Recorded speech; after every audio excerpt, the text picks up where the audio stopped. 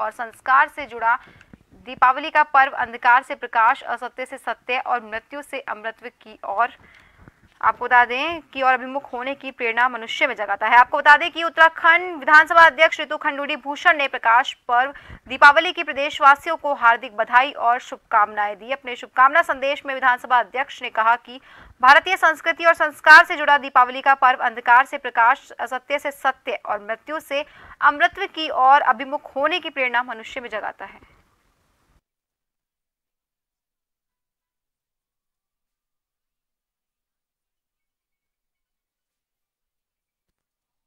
सभी उत्तराखंड वासियों को नमस्कार। दीपावली, दीपोत्सव की सभी को ढेर सारी शुभकामनाएँ और बधाई।